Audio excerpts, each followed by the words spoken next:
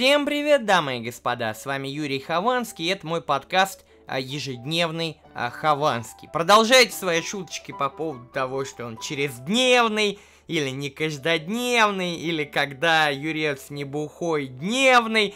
На здоровье, я только наслаждаюсь вашими комментариями, можете усраться.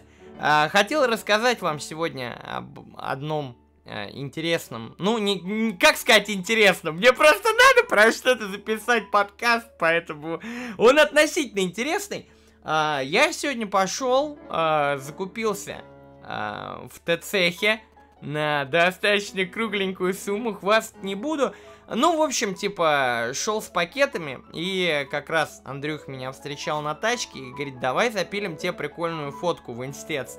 А, типа, чтоб ты, ну, типа, как будто с пакетами закупился. Я такую фотку запилил, и меня нещадно ебут в комментариях на тему того, что я закупаюсь в дешманском кропе.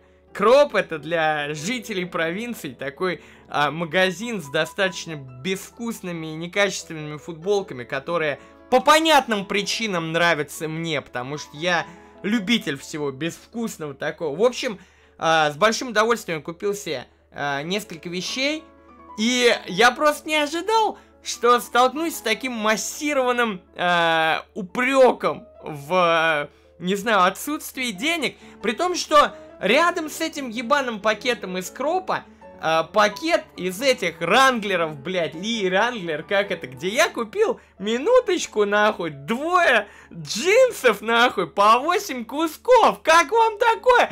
Никто не написал, Юра, клево купил себе в Ранглеры, все только хуесосят за... И неужели вот мы правда живем в стране, где нужно ну, самые дорогие пакеты выставлять наперед, на показ, на самое видное место. Неужели все-таки вот в стране такой ужасный менталитет, когда обязательно нужно вот все, что у нас есть, там самое дорогое, мы обязательно покажем на переднем плане вот это, потому что это все, что у нас есть. Блять, я этого хоть убейте не пойму. Какие-то школьники нахуй нашли батины часы, блядь, пишут, хуйня у тебя часы. Да пошел ты нахуй. Мне нравятся мои, блядь, часы. И нравятся, блядь, футболки из кропа. Ой, Юра, это не твой уровень. Блядь, да чё вы нахуй несете? Богатство, оно и в том заключается, что вы можете, блядь, одеваться в чё хотите, покупать где хотите. Блядь, только бедные люди смотрят на магазины одежды, блядь, на том, где человек нахуй закупился. Ничего себе! Ты, наверное, бич, потому что, блядь, не работаешь, нахуй, по 5 дней, блядь, в неделю, чтобы купить себе костюм, нахуй, за 40 кусков. Для того, чтобы ходить на работу и, нахуй, продавать какие-нибудь страховки или телефоны. Вот ты бич вообще, пиздец! Юра, заказал, надо же, футболку на все майки. И ходит в ней, блядь, полгода. Ебать, она мне нравится. Она мне нравится, на ней Brazzers, блядь, написано, она охуенная. Я себе вторую такую же заказал, еще полгода буду ее носить.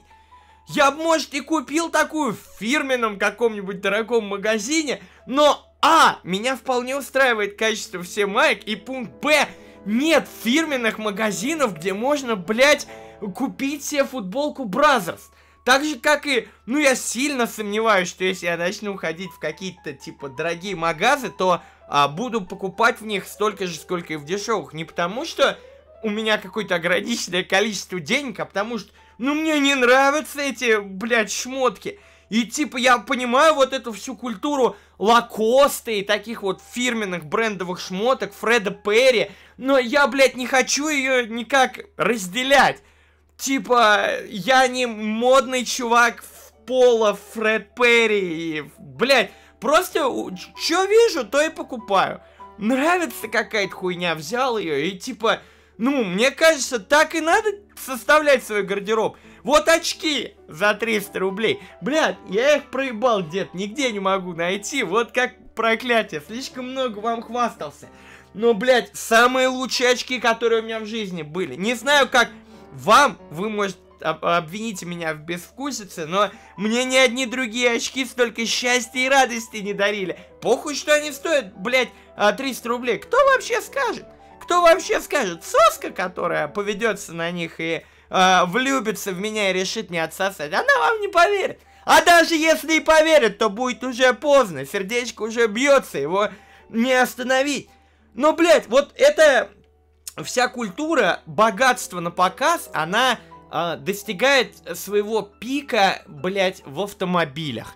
Вот этого я вообще понять не могу. Ну, я, кстати, на стримах собираюсь э, собирать на Гелендваген, поэтому частично я это понять могу. Но мы берем такой вполне, как мои часы, короче, дешевенький, маленький гелик, 1800 старенький, собираемся отснять автошоу, чтобы, так сказать, отбить ваши затраты. Ну и наши затраты на ремонт этого ведра, блядь, гелик за 800 тысяч, что ты задумал, дебил, блядь.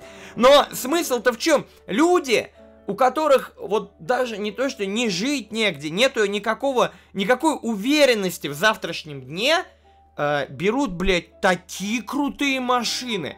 Я понимаю, что можно говорить обо всем этом абстрактно, но я, блядь, реально знаю людей, которые живут с родителями, ездят на охуенно крутых точилах. Просто невъебенно. Мы сейчас говорим о каких-нибудь Лексусах, вот такой хуйне. Не, не об Антохе с его фартом. Нет, не думайте. Нет, мы говорим о реально серьезном дерьме. И просто задумаешься, вот, ну, на какую реакцию от общества рассчитывает человек? Ну, на то, что все вокруг будут вообще просто падать на колени, падать ниц перед брендом. Или то, что чуваки в Инстаграме уж точно не напишут ему, что он бич. Типа, и что одевается в кропе, блядь, и что там футболки некачественные. Типа, все, ты себе купил, ты теперь получаешь право э, максимально этим брендом зарабатывать себе, так сказать, э, социальную валюту. Все, ты уже с этой тачкой будешь все время фоткаться, сниматься, но, блядь, это реально вот стоит того. Типа, у тебя не было желания купить просто не ту тачку, которая общество считает лучшей, а ту тачку, которая тебе нравится. Ну хорошо, нравится тебе Lexus, он всем нравится, я в это готов поверить. Но неужели не было вариантов попроще? Не знаю, просто что-нибудь тачка из твоего любимого фильма. Как мы, например, хотели взять Opel Mantу, блядь. Или, блядь, да просто прикид, похожий на чувака из твоего какого-то, блядь, из сериала, не знаю, который ты видел. И ты видишь эту хуйню, и ты такой, блядь, я себе ее возьму. Вот я так хожу по торговым центрам. И также я себе и тачку, собственно говоря, э, присмотрел. Гелик, да, я в восторге от сериала «Физрук». Я всегда э, на стримах, мне не дадут соврать, Э, говорил о том, что меня бесят э, округлые формы в машинах, вся эта сглаженность. И типа гелик, ну, достаточно солидно, по нему хуй определишь, там, сколько он стоит, 12 миллионов или там полмиллиона. Ну, если ты школьник, конечно, а не автолюбитель. Но мы же все знаем, что я один в этом мире, не школьник, все остальные, кто меня слушают, школьники, поэтому бояться мне нечего. Вот, я даже не знаю, что вам посоветовать, потому что вы все равно ко мне не прислушаетесь, скажете, э, старый хрен опять высосал, блядь, тему из пальца, чтобы забить, забить э, пустоту в эфире пустоту в своем творчестве, в своем таланте, в своем развитии. Но если все-таки мой совет для вас что-то значит, то видите хуйню, которая вам нравится, покупайте. Блять, если кто-то вам говорит купить хуйню, которая вам не нравится, не покупайте. Ну и все, наверное. Типа, если вам утверждают, что вам вот нужно для статуса, а, знаете, какой-нибудь пикап-тренер. Ух, как я их ненавижу. Как-нибудь отдельное видео запишу про пикап-тренеров. Прям не знаю, почему меня так понесло. Может быть, Байгужина насмотрелся. Хотя он не, не совсем пикап-тренер, он баб учит. В общем, что-то я опять стал отвлекаться, друзья мои. На сегодня все. А, с вами был Юрий Хованский. Это был подкаст «Ежедневный Хованский». И если, блядь, не нравятся мои темы, Сука, помоги, напиши в комментах про чё попиздеть. Понимаешь, нужно как бы разжечь во мне огонь, блядь, а не просто Юра, запиши подкаст, блядь, э, что думаешь о э, конфликте, блядь, Коли Соболева и Афоне. Блядь, что я думаю? Это, это просто... Э, это, это просто... Это...